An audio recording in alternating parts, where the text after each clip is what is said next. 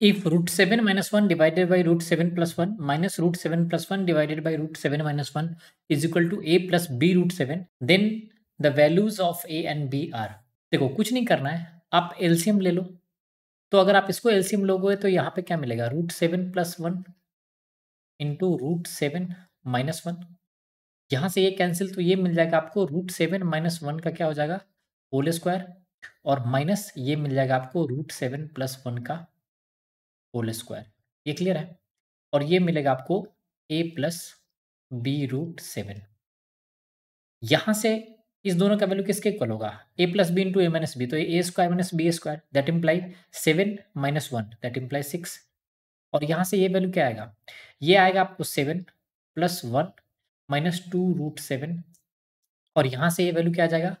ये आ जाएगा माइनस सेवन माइनस वन और माइनस टू रूट सेवन इसको आप एक्सपेंड करोगे और माइनस साइन के साथ।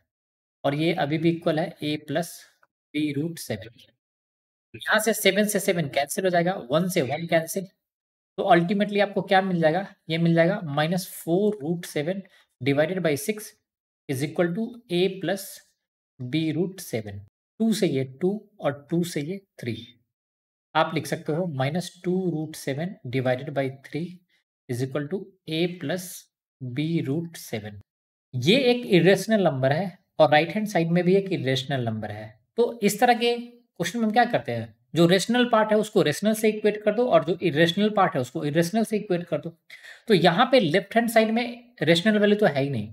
तो आप सिंपली यहाँ से ए का वैल्यू क्या लिख दोगे? ज़ीरो इरेशनल पार्ट को क्या करोगे आप? इक्वेट कर दोगे। तो यहाँ से लिखोगे B root seven is equal to minus two root seven divided by three. Root seven से ये रूट सेवन कैंसिल हो जाएगा।